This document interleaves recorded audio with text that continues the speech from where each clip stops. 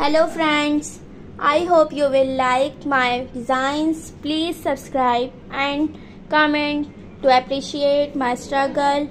Thank you viewers.